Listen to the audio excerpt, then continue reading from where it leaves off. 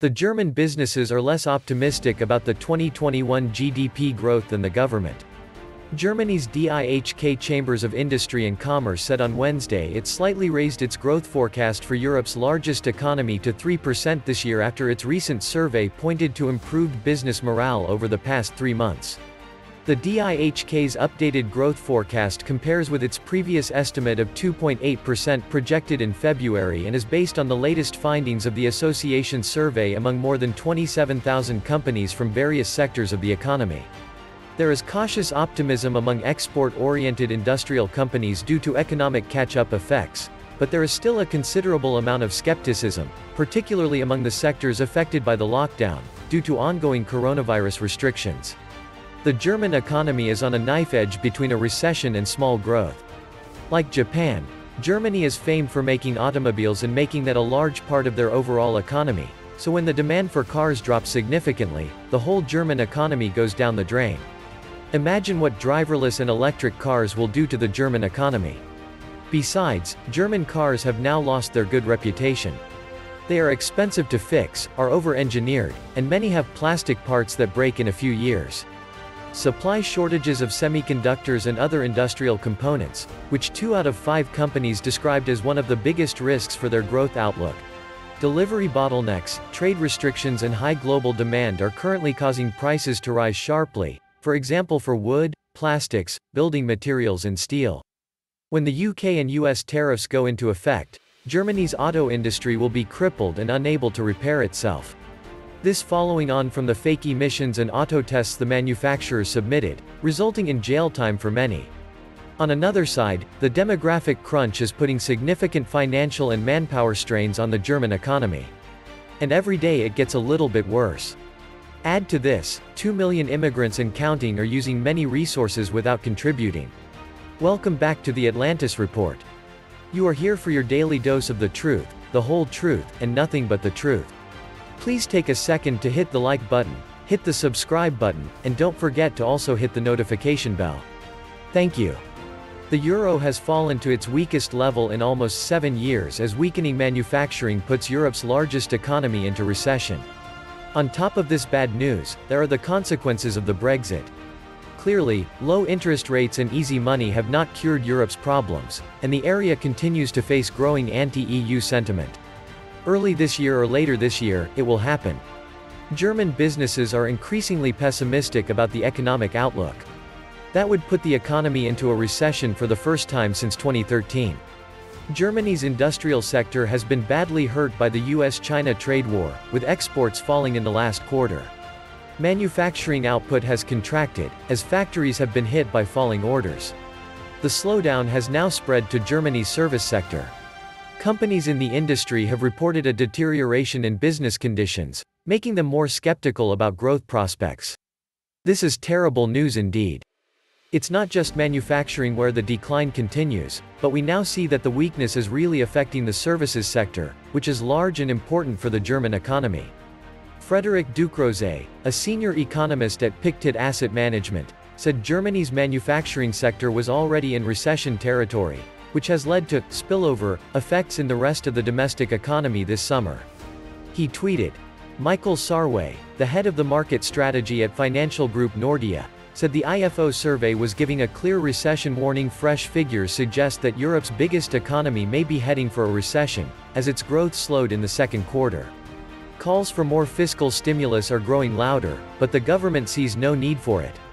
Amid a global economic slowdown, US-China trade war, persistent trade tensions between the United States and the European Union, emerging markets weakness, a temporary increase in oil prices, and the consequences of Brexit. Britain's departure from the EU is also impacting the outlook for German manufacturers. The German economy is highly dependent on the car industry. If they can't manage the transition to electric vehicles, then vast areas of Baden-Württemberg and Lower Saxony are in big trouble and might become a rust belt. There is a shortage of some critical skills that the companies need to fill urgently, in particular in IT.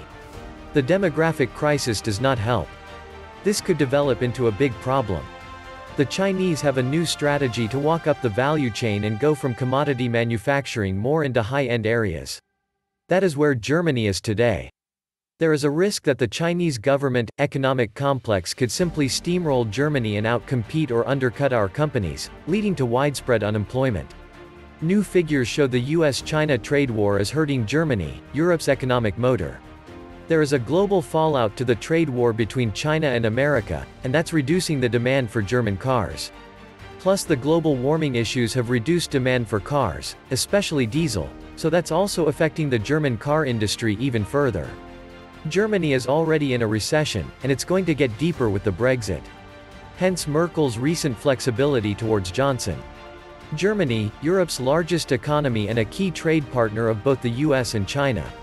Exports amount to almost half the German economy, 47%, according to the World Bank, as its companies play a dominant role in global markets for luxury autos and sophisticated industrial machinery. Supply chains from Germany extend into neighboring Eurozone countries as well, while German profits are often invested in factories in places like Slovakia, Hungary, and Poland.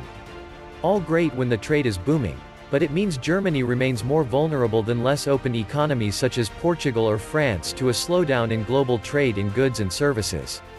Germany has been an anchor of financial stability, while other Eurozone members struggled with massive debt and deficits. The Eurozone grew by just 0.4% throughout 2018. The German economy is now vulnerable. A slowdown in international trade is the critical reason for Germany's economic downturn. Germany's export positioning makes it susceptible to any trade tensions, US-China and EU-US trade war. Weakness shows the fallout from the trade war between China and America, two of Germany's biggest trading partners. The United States decided in 2019 to raise tariffs on European cars. China is another important factor. It's Germany's third largest export market. China's economy, a key engine of global growth in recent years is in sharp slowdown due to trade issues with the United States. German automobile manufacturer, Volkswagen, has been hurt by weaker sales in China. Trouble in Europe's largest economy, Germany, will deepen worries about slower global growth in 2021. Risks negatively impacting the global outlook include the ongoing US-China trade war and the impact of US interest rate hikes on emerging markets, and the US dollar. Europe's biggest economy is going through a soft patch as its export-oriented manufacturers cope with trade friction, struggling car industry, and uncertainties over Britain's planned departure from the European Union. In its 10th successive year of growth, the economy has been relying on healthy consumption as exports weaken, which resulted in a second quarter GDP contraction. Particularly the strength of private consumption remains important anti-recession insurance for the economy. From the past year, Europe is facing a lot of crises just because of the Brexit case. Many of the countries are being affected by the current situation, and officials of different countries are waiting for the situation to resolve on an immediate basis. Germany seems to have been adversely affected by global legislative issues and potential forthcoming issues with foreign exchange. The vehicle business, which adds up to a large piece of the assembling segment, has backed off inferable from an absence of worldwide interest and development joined with issues over the outflows and administrative changes that Baigonin acquired as of late. As Germany is the biggest economy inside the Eurozone, this is a genuine worry for the cash, and this is the reason we saw the euro debilitating against both the pound and the US dollar amid exchanging sessions. Along with this issue, Italian banks are also under immense pressure. Italian banks have by and by gone underweight after reports that the European Central Bank has told their moneylenders that they should cover all their terrible credits inside the following seven years. This implies the banks included will likewise need to expand their capital sums, and this made various Italian banks lose an incentive on their offer costs. Just Monte dei Paschi di Siena has uncovered its financial record to the ECB with the others still yet to go with the same pattern. Inflation is a crucial worry for any central bank and with swelling having fallen since November 2018, this could dishearten the European Central Bank from rolling out any improvements to their current money-related approach. Yet in the event that anything this could cause euro's shortcoming as it implies that as swelling is falling. Then this means the ECB won't raise financing costs from their memorable low at any point in the near future. This clearly shows that the foreign exchange market will be affected in the coming days as well. Germany's economy is on the brink of recession, after business confidence plunged to its lowest level in seven years.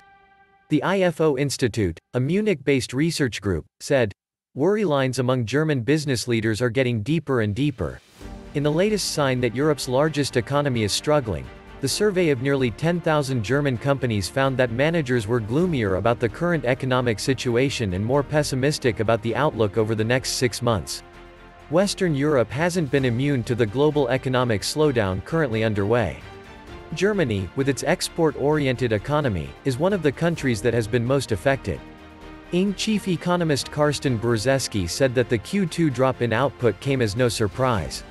The point is that the German economy has more or less been in a state of stagnation since the summer of 2018.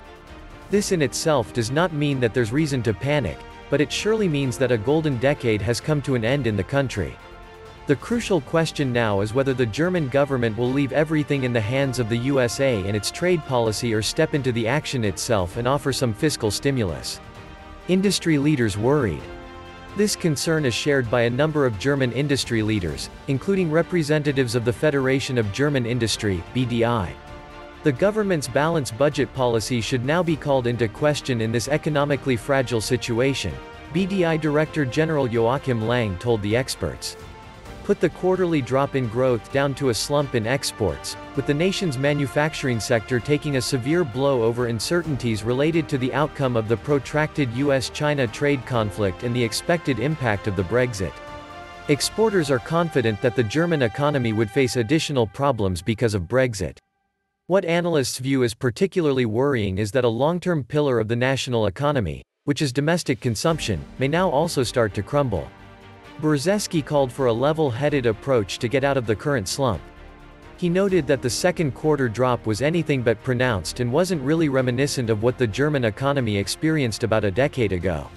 The German economy is clearly running out of steam and needs a fresh impulse to take off again. Although the German economy may be teetering on the edge of recession, the government currently shows little resolve to act.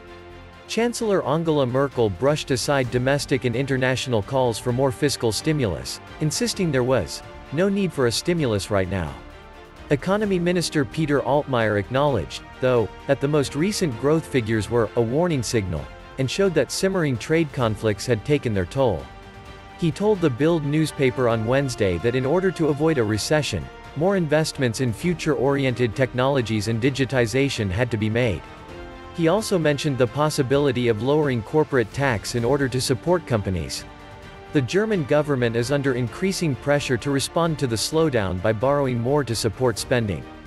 Germany's debt brake law compels politicians to draw up a balanced budget, but some economists argue that Germany should now launch a stimulus program. Big downturn is coming. The recession will happen despite the central banks because it is due. Poor old Germany will struggle more because they are used to being wealthier. Southern Europe like Greece, is already intimately involved with the idea of a contracting economy. Germany just put it off a little longer. How can Germany still grow, when all its customers are shrinking or at best static? Perhaps someone will work out that endless restrictive practices, regulations, and directives actually hamper trade and commerce. It's not just Germany, South Korea, Japan, China.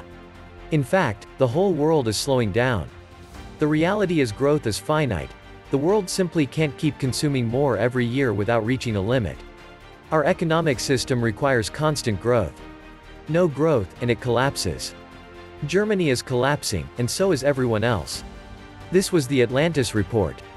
Please like, share, leave me a comment, subscribe. And please take some time to subscribe to my backup channels, I do upload videos there too. You'll find the links in the description box. You will also find a PayPal link if you want to make a donation. Thank you wholeheartedly to all those of you who have already donated. Stay safe and healthy friends.